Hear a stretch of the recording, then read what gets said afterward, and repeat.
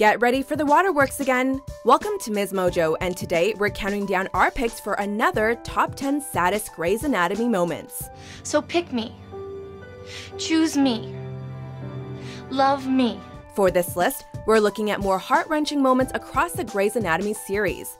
If you don't see the moment that created waterfalls for you, be sure to check out our first video of the top 10 saddest Grey's Anatomy moments. A do over.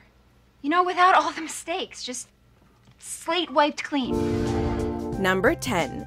Cristina leaves Seattle. So, this is goodbye then? Last night wasn't enough? No. It's never easy saying goodbye to a friend, whether or not they are fictional. Throughout the episode, we're waiting to finally say goodbye to Cristina after 10 seasons. The final surgery and some of the farewells are certainly upsetting, but the biggest moment that made us choke up was her final goodbye to Meredith. You and I are not finished. George is dead, and Izzie's gone, and it is supposed to be you and me and Alex, and now nothing is finished. At first, it's a little lighthearted, like watching a mother give his or her child a list of chores. Don't let Owen get all dark and twisty, mock Alex at least once daily, the usual. Then things get serious as Cristina says a few things that hit too close to home for us. At least we got to see the two dance it out one last time.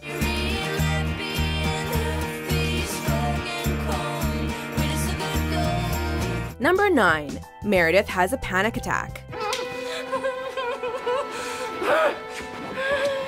Working in a hospital can be a traumatic experience, so it's hard to imagine being in Meredith's shoes when she's suddenly attacked by one of her patients and bedridden for weeks due to a loss of hearing.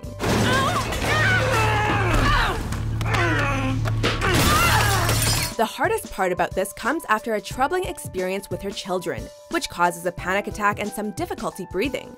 It's truly heartbreaking to see someone's kids say they don't want to see their own parents. We can't ignore what happens later though, when Meredith meets her attacker. After a few words from him and not much else from there, we experience a poignant moment between the two as she reaches for the man's arm, showing he's forgiven.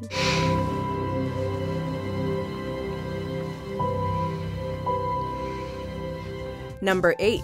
April and Jackson sign divorce papers. At work? That's where you decide to do this? You want to lower your voice? What does it matter how loud my voice is when 35 people just saw me get served with divorce papers? What could be more heartbreaking than finding out your significant other wants to file a divorce? So before the famous fortune cookie argument makeout session, the episode immediately hits us with a divorce signing before we see the history between the two. April asks Jackson if he's sure about the divorce, but the silence is more than enough. You want this? Do you really want this? I know, I know the siren sound. There's not even a moment of hesitation about his decision, leaving April to believe the marriage was a total failure. Even while the remainder of the episode shows us how these two worked, the haunting image of the divorce papers, coupled with a few disagreements, tells us otherwise.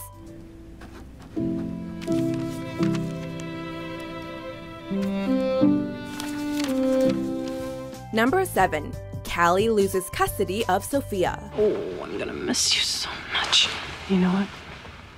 Mama loves you so, so much. I will see you again before you know it. I know. As Meredith puts it, a true mom would rather give her baby up than have it ripped in two. But what happens when there are two true mothers? Callie almost died giving birth, but tried making Arizona out to be the bad guy. Arizona, however, was better for Sofia's well being. Seeing these two butt heads was just as sad as April and Jackson's divorce. We'll see you in court. And the kid gets torn apart.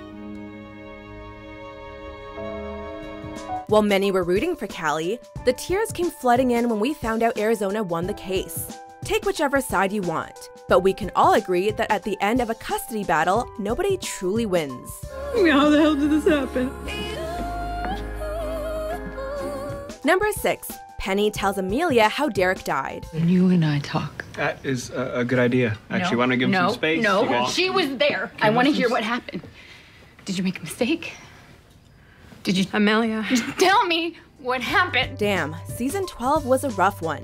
When Penny shows up to dinner at Amelia's house, the tension gets high, and Meredith does not do a good job at hiding it. A beer and a margarita coming right up. She's being weird, right? She's being nice.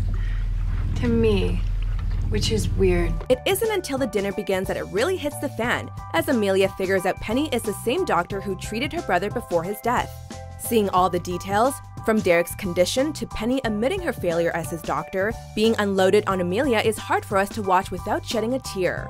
It was too much for Amelia to bear, and results in Penny being told to leave. Did I say anything to you before you killed him? Can you tell me what his last words were? That's enough.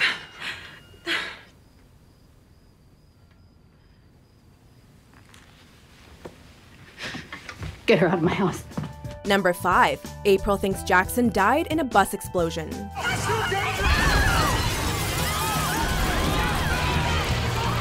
Along with being one of the saddest, this was also one of the most intense moments across the entire series. When a speeding bus loses control during a rough storm, the doctors rush outside to assist. Upon hearing a little girl is trapped inside, Jackson rushes back in the flames to save her. Why don't we go find your mommy, huh? Yeah, come on. I know where she is. We'll go find her right now. It's a race against time before a fuel leak ignites. And then, boom! It's agonizing to see April's horrified face, to see Jackson go inside an exploding bus, and then possibly his death. Yes, we said possibly. Thankfully, we see Jackson emerge with the girl in his arms, but that moment was all too shocking for us. Please, Grey's Anatomy, never pull that stunt again.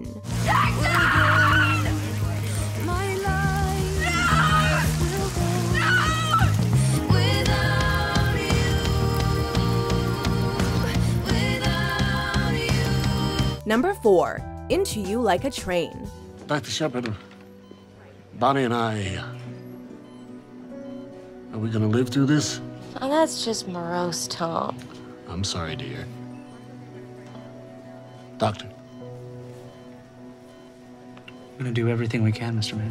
When a massive train accident leaves passengers in critical condition, a woman and a man named Bonnie and Tom are bound together in surgery from being impaled by a metal pole. With her aortic injuries, her chances of survival are extremely slim no matter what we do. While comforting her, Bonnie asks Tom if he believes in heaven. And while Tom's yes is resounding, Bonnie's answer is less than relaxing. Tom even tells the doctors to save the younger Bonnie's life at the expense of his. The entire episode has us bawling our eyes out, and especially so when we find out that Bonnie is a lost cause, and things end in her death. Time of death 349. Number 3. George's Reveal 007. He saved my life. He threw me out of the way. Grey, get her out of here. It was supposed to be me under the bus. He's all alone. They don't even know who he is, please. Uh, uh. In an attempt to save a woman's life, a mysterious man is hit by a bus and brought into Seattle Grace Hospital, dubbed none other than a John Doe. When Meredith goes to check on him, the patient grabs her hand and keeps tracing numbers with his finger. It's at this particular scene when we finally figure out through our tears who the patient is the surgical resident with a license to kill, George O'Malley. It's George! It's George! Despite the best effort from his peers, it was the last time we got to see George before he hit the flatlines. What's sadder was that George was about to join the US Army. You changed my life. Did you say it? Number 2. Charles Percy's death. I'm dying, right? Didn't think we were going to forget about this one, did you? The final moments of intern Charles Percy were not easy for fans to sit through. Due to a police lockdown, Dr. Bailey finds the elevators were inaccessible with no other way to the OR, and she must accept that her colleague is dying. The elevators. They're off. The elevators are working! The elevators are working! So that he does not die alone, Dr. Bailey and patient Mary stay with him until he takes his last breath. Touching, horrifying, and depressing, this moment destroyed all hope for us that Percy would make it. Yes, our tears began hitting the floor right when the song started playing. You tell her I was a catch. You tell her I was a hot, hot catch. She missed out on a great guy. Before we get to our saddest pick, here are a few honorable mentions. Is he mad at me?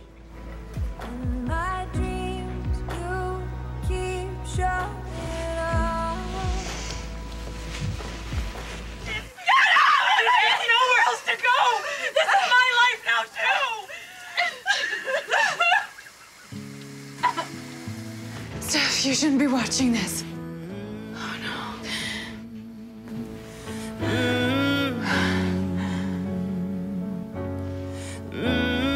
Number one, April loses her and Jackson's baby. And you're gonna get to hold that baby. And you'll pray for him and sing to him. You're gonna look at him. You're gonna look at him and memorize every little detail of his face. And you will do that as long as he lives. Oof, this one just hit us too hard. The death of a newborn is never easy to digest, and this was heart wrenching for everybody. Appropriately named All I Could Do Was Cry, the 11th episode of the 11th season showed April and Jackson spending their first few and last moments with their child.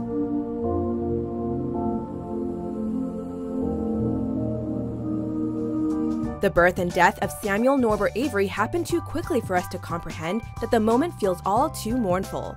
The writers just like to use April and Jackson to make us cry, don't they?